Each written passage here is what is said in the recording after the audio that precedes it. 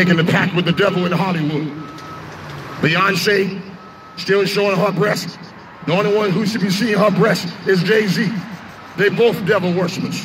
Hollywood is full of Satanists who sold their soul to the devil for fame and fortune. But Jesus said, what profits a man if he gain the whole world and lose his soul? We're living in days women showing cleavage. You don't got to dress seductive to get a man. You're already beautiful. When you serve Jesus, you don't got to wear a mini skirt. When you serve Jesus, you don't got to show cleavage up in the church to get a man. You don't got to dress seductive. You're already beautiful. When the Holy Ghost is on the inside, He beautified the meek with His salvation. You don't got to wear makeup.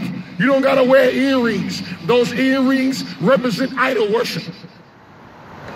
Back when Moses went to the mountain, Israel took off their earrings and made a golden calf. When God told Israel, Thou shalt not have no other God before me. Thou shalt not worship any graven image. We're living in days of the church wants to be like the world. When the Bible says, Love not the world, and the things that's in the world.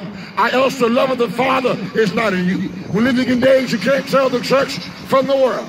Because now the church is acting just like worldly folks, smoking and drinking and cussing, going to church on Sunday and cussing on Monday. You can't serve two masters. He said, love the one and hate the other. I'm not trying to put you down because I was born in sin just like you. If I don't live right, I'm going to hell. That's why I must live what I preach.